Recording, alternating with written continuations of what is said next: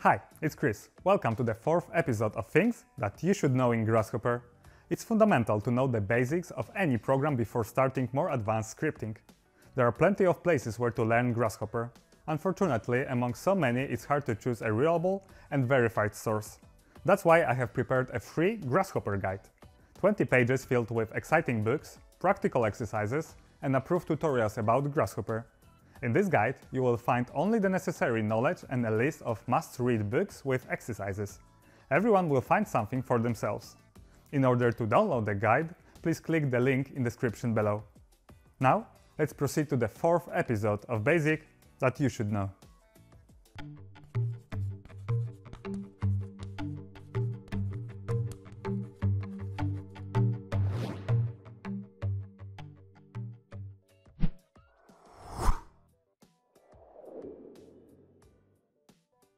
Special folders can be found in the files and the special folders. First one, components folder, contains 30 part components library. Here are all components downloaded from the Food4Rhino. Second one is the settings folder. This one contains all user settings as defined alias and materials. Next one is a user objects files. In this folder you can find all saved by you clusters. And the last one, autosaved folder. When your Grasshopper file crash, you can find here last saved data.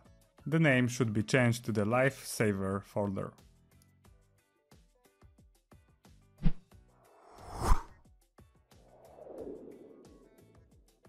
Multi-line data. Writing several numbers in the panel will generate the one big text input, just one item in the list. These numbers will not be considered as integers. In order to change that, right-click and change to multi-line data. Now, every line will be a separate item and the panel will have index values.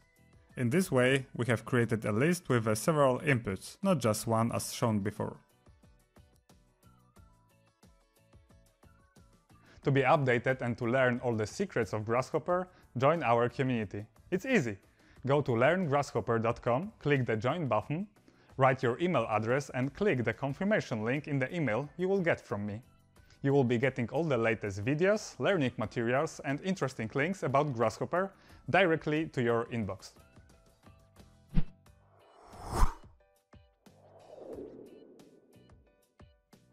There are few Grasshopper components that have input but no outputs, or vice versa. When a component doesn't have input or output, it will have a jagged edge. Mostly, these components have function to display. You can display vectors, symbols, or change the color of the geometry display in Rhino.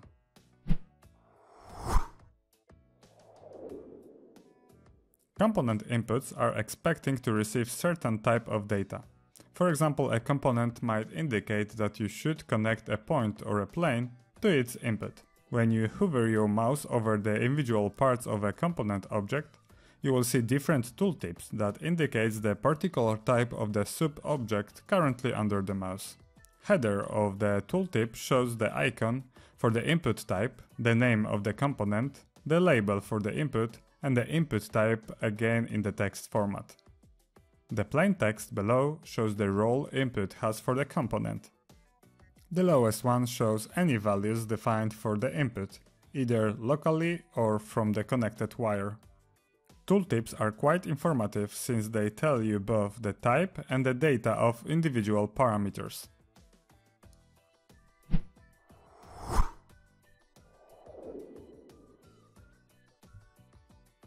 Manage collection.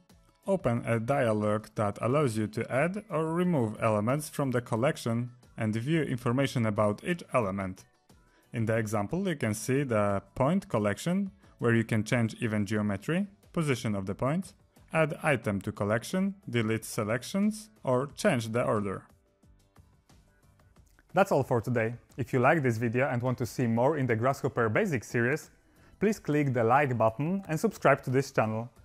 Thanks for watching, see you next time. Have a good one.